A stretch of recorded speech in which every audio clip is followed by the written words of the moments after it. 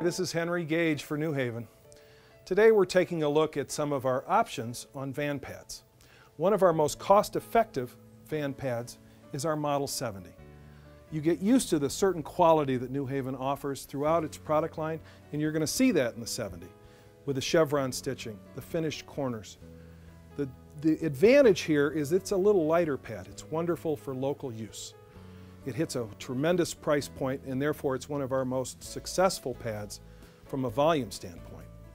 If you're looking for a local van pad for good protection at a cost-effective rate, you cannot do better than the Model 70.